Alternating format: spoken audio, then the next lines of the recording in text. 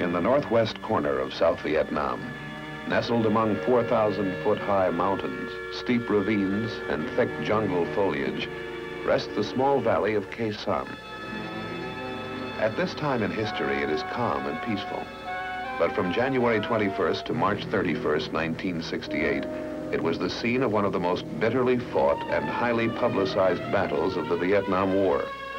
For 70 days and nights, a determined group of 6,000 Marines and allied troops held out against a besieging force of 20,000 North Vietnamese. Was Sanh worth it? Why did the U.S. military command feel it necessary to defend this outpost?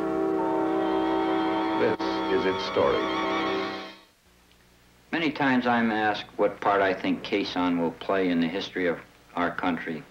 And it's almost impossible for me to evaluate it since I was so close to the situation.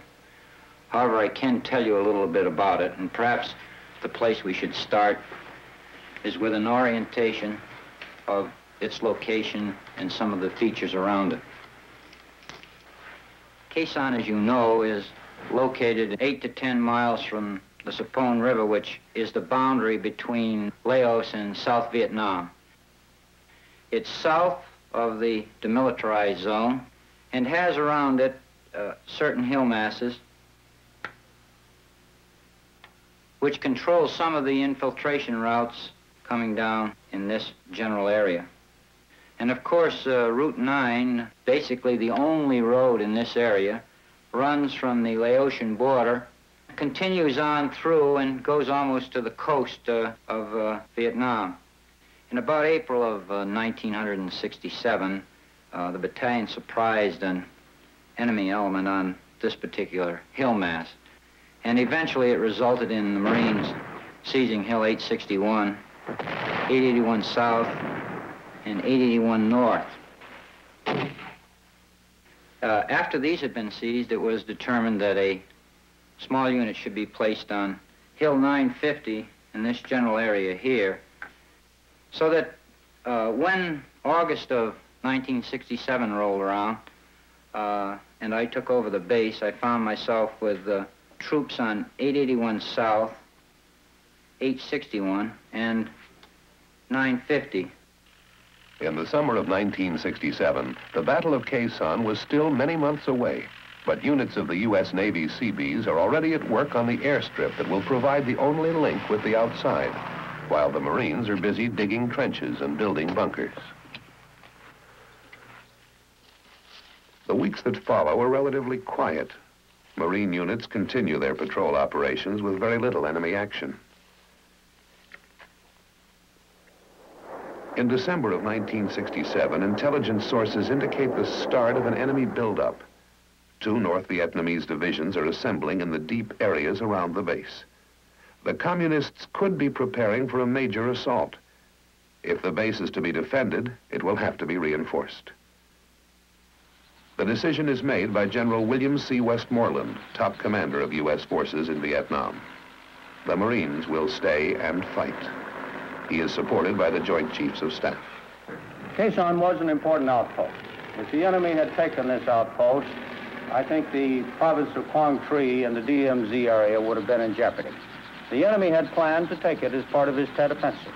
At the same time, he had planned to overrun Quang Tri City, seize and uh, whole way, and to roll up our defenses south of the demilitarized zone.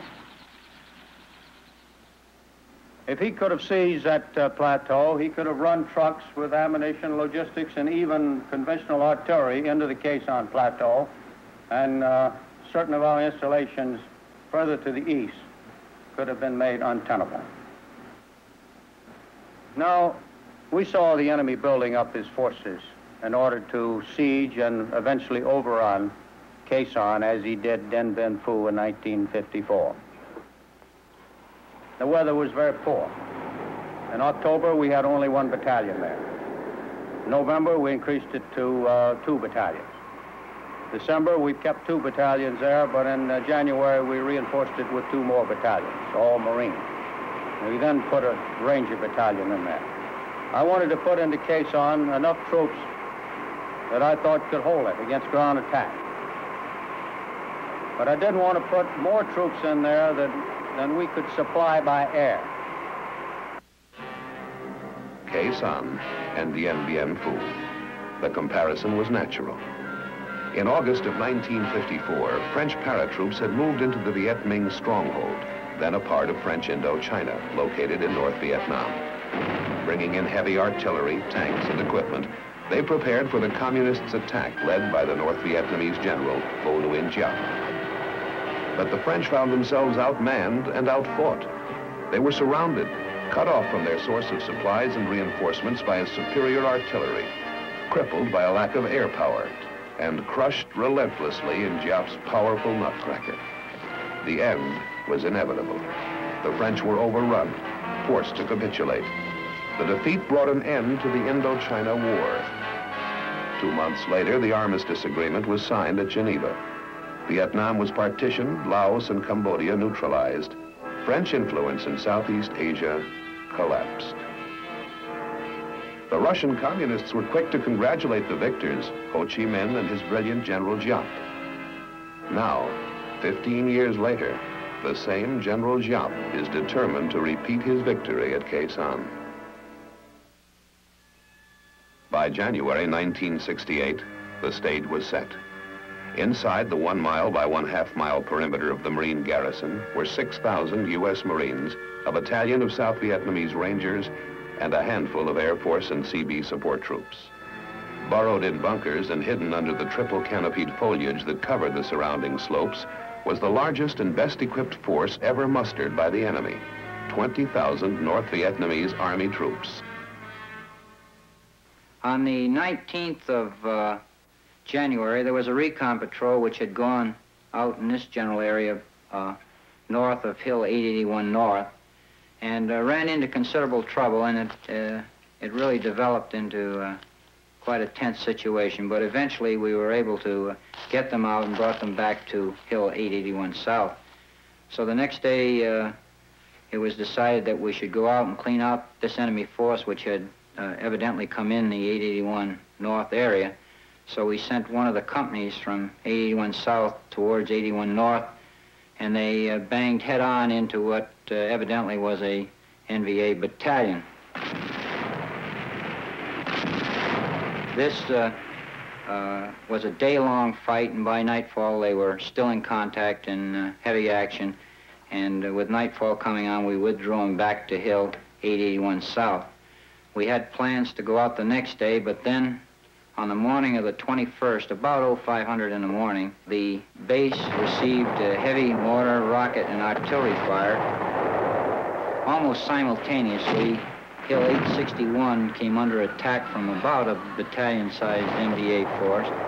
And that no sooner got started than down here in Sanh Village, uh, CAC unit came under attack uh, by about a battalion. So we had three things going at once, and naturally uh, my concern was with all of these forces which are around me, as you can well imagine, I began to become concerned that they might start closing the base. However, it didn't take very long to really upset me when, in a few minutes later, after this whole thing is boiling to a pot, that the ammo dump went completely up and with rounds flying all over the place.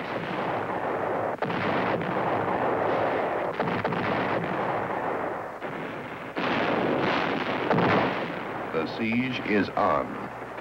The North Vietnamese launch a massive artillery attack. The Americans counter with record airstrikes and artillery, and the B-52s start their aerial bombardment. U.S. commanders predict a major North Vietnamese offensive just before the Lunar New Year on January 30th, or just after it. This could develop into the biggest confrontation of the war. The weather is on the side of the North Vietnamese. Communist gunners time their attacks to take advantage of the mist closing in on the airfield that hampers American planes from striking back. January 29th. American intelligence reports presence of a 4th North Vietnam regular division in the Sanh area, bringing the total estimated enemy strength in the area to approximately 40,000 regular troops. Half of these appear poised for the attack on the garrison. General Westmoreland positions his reserves of about 15,000 Army troops plus a 5,000-man Marine regiment at Phu Bai, about 60 miles southwest of Sanh. In uh, early February, uh, the enemy again tried to take uh, the 861 complex. However, this time uh, they made an effort on uh, its twin sister 861A. The attack on uh, that hill was repelled through the use of not only the supporting arms, artillery air, but also, as with every other attack on the perimeter, by the organic infantry weapons, the 81 millimeter mortars, 3.5 rockets, M79, machine guns, and mines, and every other uh, weapon available to an infantry battalion. February 10th. The North Vietnamese Communist Party newspaper boasts that the U.S. faces a defeat as disastrous as that suffered by the French at Dien Bien Phu. There is growing concern over the fate of the Marine garrison as the U.S. press also revives the specter of Dien Bien Phu. At stake now is more than a key military stronghold. The communists are out to inflict heavy casualties on the American troops with a major victory so that the U.S. would enter negotiations on terms favorable to Hanoi. The Battle of Sanh. This was a very traumatic experience for the American people, but I never had any real concern about Sanh. I had a few uh, restless nights, but I had full confidence that we were going to win the Battle of Sanh because we had the means. The Americans have protection from big 175 millimeter guns at Camp Carroll, about 17 miles to the east, and at the rock pile, about 12 miles to the northeast.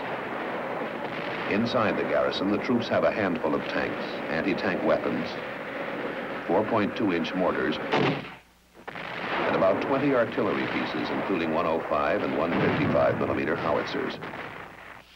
But their secret weapon is their air power. Fighter bombers of the Navy. Marines.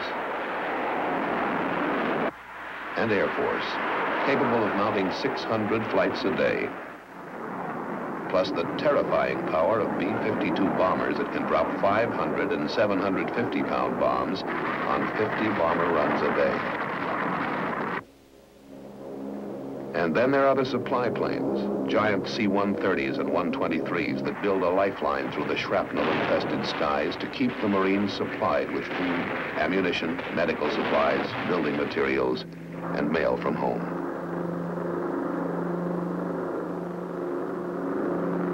And according to our calculations, we could supply Sanh by parachute drop. And we had prepared ourselves for this uh, contingency uh, some uh, 18 months before.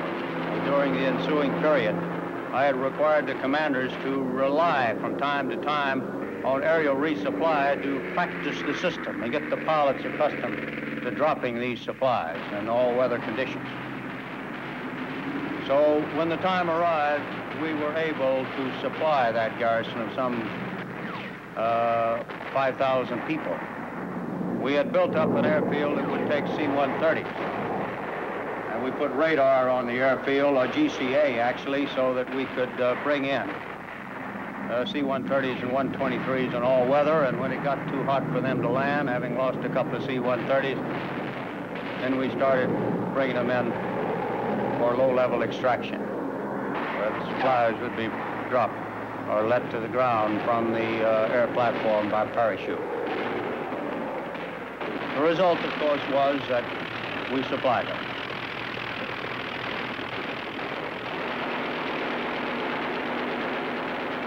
February 13th. Marine casualties mount when a U.S. Marine platoon is ambushed by the Viet Cong 800 yards outside the barbed wire. Throughout the month of February, the North Vietnamese artillery continues to pound the garrison. Some of their guns are apparently dug into the caves across the Laos border 10 miles away, believed to include 130 millimeter and 152 millimeter guns and rockets. The Americans counter with airstrikes and B-52 bombings, pinpointing the advancing communists only yards from the base perimeter. The Marines were told to button up I told them to confine their patrols to close-in patrols for their own security because I did not want them venturing too far afield where men would get killed and wounded or, or lost, uh, so that we could not afford to put our firepower in the area where we knew they were located. And we started pouring it on. And that's the thought that came to mind when I called this Operation Niagara. And this is exactly what happened. The bombs fell all the month of February and all the month of March. Arclight is the code name for these terrifying bombers. Coming in at 20,000 feet and literally destroying the target area with their 500 and 750 pound bombs the North Vietnamese troops are forced to dig in, keep their heads down, and concentrate on avoiding being scorched by napalm or pulverized by the bombs. When bad weather comes, and at night, they bomb by radar, pinpointing their targets by means of a ground-controlled system called Sky Spot. February 22nd. Troop movements have indicated that the enemy is massing for the long-awaited attack. The defenders waited out, sandbagged bunkers and trenches. Their positions surrounded by tangled coils of barbed wire studded with explosive charges and claymore mines. The incoming artillery fire, rockets, and mortars of the enemy continue to pound the garrison.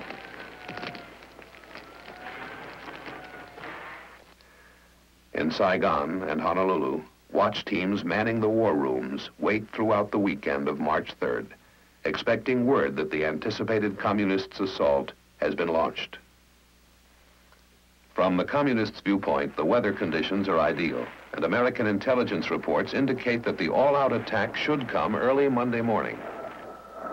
But it does not develop. Apparently, the communists are unable to mass their troops for the attack because of the airstrikes and heavy bombardment.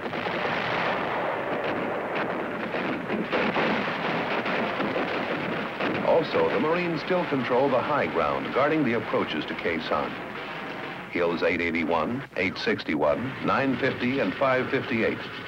So far, the enemy has been unable to take any of them. March 13th. This is the 14th anniversary of General Giap's attack on Dien Bien Phu, and time is running out for the communists.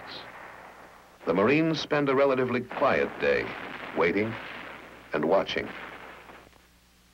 As I reflect back on it, I can uh, remember that the news stories coming out uh, were talking about the agony of Sanh and so forth and so on. I'm reminded of the story of the, and I know this to be true because I was standing there, Italian uh, newspaper man came in and uh, went around the base for a little while, met a lot of people and talked to people, and then he come back over and he said, uh, he says, you know, he says, uh, everybody you talk about uh, the agony at uh, He says, I uh, see no agony. He says, uh, you got a the apple, you got a the orange.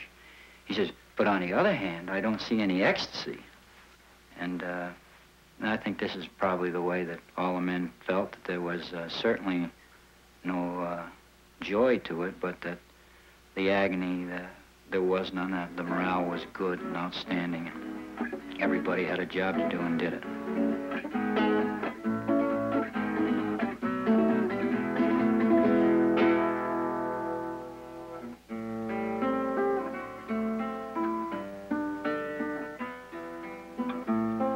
Because of the resupply, we never ran out of C-rations. You could uh, take a walk through the trench lines and the bunkers and uh, find an array of uh, menus uh, being prepared. Some of them were quite elaborate. We'll just call them casseroles. Of course, these casseroles had various names. Several in particular that I remember called Khe Sanh Special, think that was uh, beef and uh, chicken cooked, stewed together. Another one was called a hippie's delight. That was just about everything thrown in the pot together. And there was another one called uh, uh, mulligan stew. That was my specialty. I only had three meats in this uh, type of stew. Uh, we beefed it up with uh, hot sauce, and, uh, meat sauce, and it was quite tasty. March 26th, the enemy closes in, digging tunnels and working their trenches close to the base perimeter. Five times they have probed the garrison's defenses, hitting the perimeter in battalion strength. But each time they're thrown back. The enemy is still unable to mass for the all-out attack. March 27th, the enemy has withdrawn one of his two divisions, and substantial elements have been withdrawn from a second North Vietnamese unit. Now the heavy U.S. bombing and airstrikes only heighten the desire of the remaining North Vietnamese troops to get out as the monsoon lifts and the weather clears. The Marines move out of their trenches and bunkers to seek and engage the enemy on the ground. And on the 1st of April, the weather broke, and we were able to exercise our contingency plans by moving the 1st Cavalry Division, reinforced by a regiment of Marines, up Highway 9 to make a ground link-up, and the Marine engineers opened Highway 9, and we've been rolling trucks over it ever since. These are the relief troops of Operation Pegasus, 30,000 men strong a joint force composed of the 1st Air Cavalry Division of the U.S. Army and South Vietnamese troops. Sweeping down from the narrow highway from the north, they see little of the two North Vietnamese divisions that had surrounded the base. The enemy has left, silently pulled out and given up the battle, leaving in his wake a scarred and churned up landscape, blown up and destroyed bridges that must be rebuilt before the convoy can proceed and hidden mines that must be found and exploded. Fleets of helicopters lift men and artillery into the hills surrounding the base.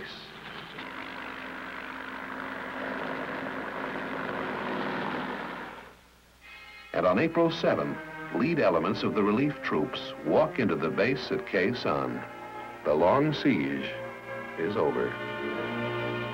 It is my conservative estimate that 15,000 men were knocked out of action during that period of time. The result was that we broke his back, and he has not regained his strength since. We captured documents on the battlefield that attest to this. And we learned, we've learned from these documents that we not only killed a lot of the enemy and destroyed great quantities of his supplies, but we also made it so hot in that area that he was having great difficulty with desertions. Up to 20 to 25 percent of companies, according to these documents, deserted and just took off. And I think this is the first time in history where a siege of that magnitude has ever been broken by air power. But it was. And once it was broken by air power, and this was our strategy, it was exploited by a ground operation. But his back had been virtually broken when the ground troops arrived. The aerial bombardment on the North Vietnamese at Khe Sanh was the most intense in the history of warfare. In all, from January 19th until March 31st, more than 103,000 tons of bombs were dropped on the besieging force. Navy, Air Force, and Marine pilots flew more than 24,000 sorties, including 2,500 by B-52s. In addition, the enemy was pounded by more than 100,000 rounds of artillery and mortar fire. After Marine units moved out of Sanh into the surrounding terrain, they discovered hundreds of North Vietnamese bodies in shallow graves. Total enemy casualties for the period were estimated at more than 15,000. Marine losses were 204 killed and 1,622 wounded and evacuated.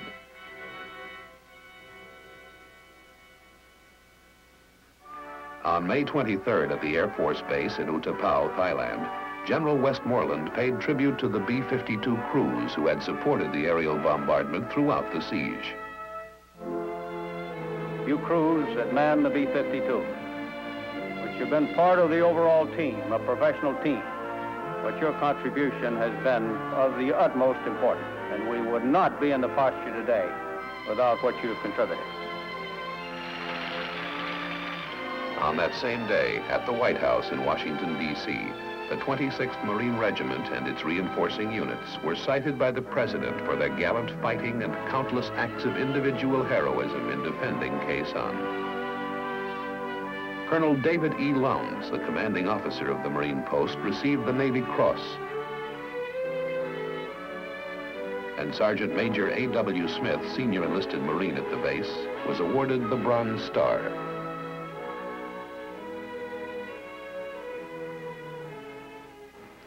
Some have asked what the gallantry of these Marines and airmen accomplished. Why did we choose to pay the price to defend those dreary hills? The fortress at Sanh straddled critical supply and infiltration routes that the North Vietnamese were using. Route 9, which it commanded, was to be a major avenue for the enemy into populated areas and into the cities of South Vietnam.